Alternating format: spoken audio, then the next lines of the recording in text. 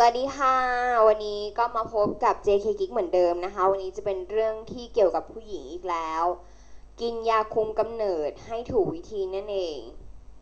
นะคะกินยาคุมกำเนิดให้ถูกวิธี จะมีวิธียังไงเราต้องมาดูกันเอ่อแต่ว่า มันมีสิ่งหนึ่งค่ะที่อยากจะบอกไว้เลยก็คือการมีเพศสัมพันธ์ระหว่างการใช้ยา ทั้งในผู้ที่ใช้ยาครั้งแรก ผู้ที่ต้องการเริ่มใหม่หลังจากหยุดใช้ยาไปช่วงหนึ่ง ถ้าจะมีเพศสัมพันธ์ใน 2 สัปดาห์แรกก็ต้องใช้วิธีคุมกำเนิดอื่น ๆ ร่วมด้วย อันนี้ไม่ได้แนะนำข้อที่แบบ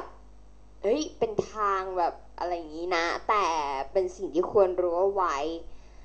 เกี่ยวกับยาพวกนี้ อะไรอย่างเงี้ย เออ รู้เอาไว้ก็ดี มันจะได้ทันโลกนะ การใช้ยาเม็ดคุมกำเนิดเนี่ยมันเป็นวิธีที่ได้รับความนิยมที่สูง เนื่องจากว่าการกินยาเป็นวิธีที่ง่าย แล้วก็ไม่เจ็บราคาก็ถูกผลป้องกันการเออตั้งครรภ์มันก็ได้สูง คือใช้กันอย่างคุ้มคุ้นเคยมาตั้งแต่นานนมแล้วอะไรอย่างเงี้ยสะดวกหรือว่าหาซื้อได้ง่ายตามรานขายยาทั่วไป ก็ต้องเข้าใจเมื่อเริ่มใช้ยาเม็ดคุมกำเนิดเมื่อรับประทานยา นะเมื่อรับประทานยาคุมกำเนิดแผงแรกควรจะทำอย่างไรอย่างเช่น ให้ฝ่ายชาย ใช้ถุงยางอนามัย เพราะว่ายายังไม่มีผลในการป้องกันการตั้งครรภ์ได้ทันทีนะคะเนื่องจากเอ่อนอกหลังจากนั้นเนี่ยสามารถที่จะมีเพศสัมพันธ์ได้ตามปกติยกเว้นถ้าเกิดว่าลืมกินยาในบางกรณีอาจจะต้องใช้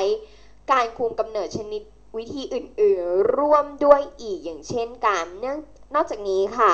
ยาเม็ดคุมกำเนิดชนิดแผง 21 เม็ดมีช่วงเวลาหยุดยา 7 วันในเวลาในช่วงเวลาที่หยุดยาก็สามารถจะมีเพศสัมพันธ์ได้ตามปกติทำอย่างไรหากต้องกินยาอื่นร่วมกับยาคุมกำเนิดถ้า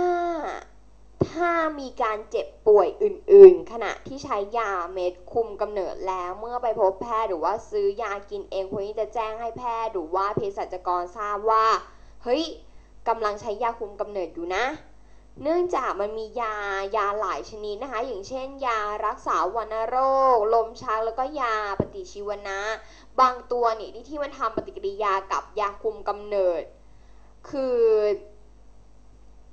มันจะทำให้ประสิทธิภาพของยาคุมกำเนิดเนี่ยมันลดลงเมื่อนำมาใช้ร่วมกันอะไรอย่างเงี้ย และอาจจะส่งผลให้เลือดเนี่ยออกผิดปกติหรือว่าตั้งครรภ์ได้ ซึ่งหากต้องใช้ยาเหล่านั้นเป็นเวลานานก็อาจจะต้องเลือกยาคุมกำเนิดที่มันมีปริมาณตัวยาสูงขึ้น หรือเปลี่ยนไปใช้ยาคุมกำเนิดแบบอื่นแทนเลยก็มี อาการค่ะ อาการข้างเคียงจากยาคุมกำเนิด เราควรจะรู้ไว้กันเลยนะว่ายาคุมกำเนิดเนี่ยอาจจะทำให้เกิดอาการคลื่นไส้อาเจียน อาการเจ็บคันเต้านม เลือดออกกระปริกระ ปล่อยอะไรเงี้ยน้ำหนักตัวเพิ่มมีสิวมีฝ้าปวดศีรษะ อาการเหล่านี้ส่วนใหญ่มันจะหายไปเองหลังจากใช้ยาเป็นระยะเวลา 2-3 เดือน ทรมานนะอยากจะบอกว่าทรมานทำไมกินยาเม็ดคุมกำเนิดแล้วตั้งครรภ์ล่ะ 1. รับประทานยาอื่นร่วมกับยาคุมกำเนิด ซึ่งกล่าวไปข้างต้นเมื่อกี้นี้แล้วว่าเอออย่าไปกินร่วมกับยาอะไรบ้างนะคะ ก็จะมียาอะไรบ้างล่ะ มียารักษาวัณโรคลมชักแล้วก็ยาปฏิชีวนะบางตัวเท่านั้น อย่างที่สองก็คือคุณลืมกินยา กินยาไม่ตรงเวลาบ้างอะไรอย่างเงี้ยอุ้ยหลายสาเหตุ อยากจะบอกว่ามันหลายสาเหตุ ต่อไปทำอย่างไรถ้าลืมกินยาคุมกำเนิด อ้าว ยาคุมกำเนิดเนี่ยมันเป็นยาที่ต้องใช้เวลาอย่างต่อเนื่อง นะคะการลืมกินยาเป็นเรื่องที่พบได้บ่อยๆ แม้ว่า มันไม่เป็นอันตราย แต่ก็มีผลเสียอย่างเช่นทำให้ผู้ที่ใช้เนี่ยมันมีเลือดออกกระปิดกระปล่อย แล้วก็ถ้าลืมกินบ่อยๆ อาจจะเกิดการตั้งครรภ์ได้ จึงควรที่จะกินยาในเวลาเดียวกันทุกวันเก็บยาในที่ที่มันเห็นง่ายที่เราไม่ลืมเพื่อที่ช่วยในการเตือนให้ไม่ลืมกินยากรณีที่ลืมกินยาให้ มีวิธีแก้ไขดังนี้ก็คือลืม 1 เม็ดให้กินทันทีที่นึกได้และกินเม็ดต่อไปในเวลาเดิม เก็ตนะ เก็ตสองลืมตั้งแต่ 2 เม็ดขึ้นไป เฮ้ย เราลืมเหรอะเฮ้ย เปลี่ยนใหม่แล้วต้องกินอะไรอย่างเงี้ย คือติดติดต่อกันในช่วง 2 สัปดาห์แรก 14 เม็ดแรกของแผง ซึ่งมันเป็นยาฮอร์โมน ให้กิน 1 เม็ดทันทีที่นึกได้และกินเม็ดต่อไปในเวลาเดิมตามปกติจนหมดแผง เก็ต ลืมตั้งแต่ 2 เม็ดขึ้นไปอ่าติดต่อในเอ่อติดต่อกันในช่วงเวลาที่เอ่อในในช่วงสัปดาห์ที่ 3 เม็ดที่ 16ถึง21 ของแผง ซึ่งเป็นยาฮอร์โมนให้กิน 1 เม็ดทันทีที่นึกได้ และกินเม็ดต่อไปในเวลาเดิมตามปกติจนหมดแผง 21 เม็ดแล้วก็เริ่มกินยาฮอร์โมนเม็ดแรก ของแผงใหม่ติดต่อกันไป โดยไม่ต้องเว้นระยะ 7 วัน กรณีที่ยาชนิดแผงละ28 เม็ดให้ทิ้งยา